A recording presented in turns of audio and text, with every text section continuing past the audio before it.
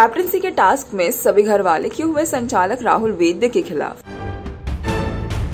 राहुल के लिए रुबिना ने क्यों बजाई तालियाँ?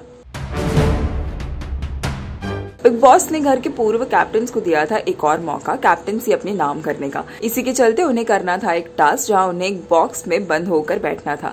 जो सदस्य अंत तक उस बॉक्स में बना रहेगा, वो बनेगा घर का अगला कैप्टन कैप्टनसी के इस टास्क में अली गोनी ने सबसे पहले मानी हार और आ गए बॉक्स के बाहर।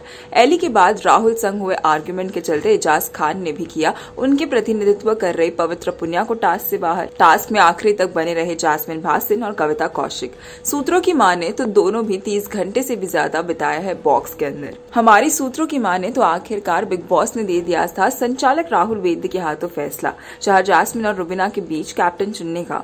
राहुल ने लिया कविता कौशिक का नाम। चैनल पे दिखाए गए प्रोमो में निकिता अम्बोली ये पॉइंट रखती हुई आ रही है नज़र कि जासमिन का बॉक्स हिला था, और अगर राहुल ने नहीं किया इन बातों को कंसीडर तो वो करेंगी तमाशा। तो वहीं जैसे ही राहुल ने अनाउंस किया कि कविता को विनर तो रुबिना दिलैक का भी फूटा राहुल पर गुस्सा, और उन्होंने उठाया राहुल के संचालन पर कई सवाल।